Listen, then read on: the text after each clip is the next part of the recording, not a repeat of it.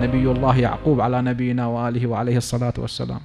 وهو سيد الحكماء في زمانه. نبي من أنبياء الله سبحانه وتعالى. والأنبياء في أفعالهم لا يوجد خطأ ولا يوجد شيء خلاف العقل ولا يوجد سهو. لماذا الله سبحانه وتعالى ذكر في القرآن؟ الجواب لكي يكون أسوة. العاطفة الأبوية. الأب لازم يكون عطوف تجاه أبنائه. حتى إذا أبناء أخطأوا يعقوب على نبينا وآله وعليه الصلاة والسلام أبناء الذين أخطأوا زين إجوا يطلبون العافو ماذا قال يعقوب على نبينا وآله وعليه الصلاة والسلام؟ قالوا يا أبانا استغفر لنا ذنوبنا إنا كنا خاطئين. طبعا يعقوب ما كان وهابي حتى يقول لهم روحوا مشركين توجهوا إلى الله مباشرة ليش جايين عندي؟ وإنما يعقوب كان نبي من أنبياء الله. ماذا قال لهم؟ قال سوف أستغفر لكم ربي.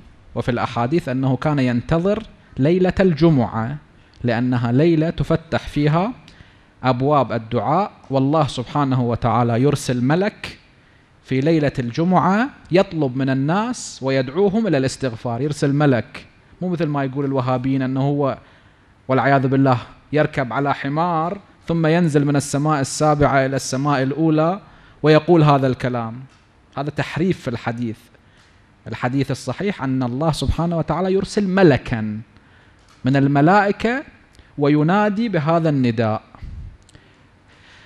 على كل حال فيعقوب الله ذكره بهذه القضية لكي يكون أسوة. أنت أب لازم تكون عطوف تجاه أبنائك. بعض الآباء بعض الأحيان يخاشنون أبنائهم.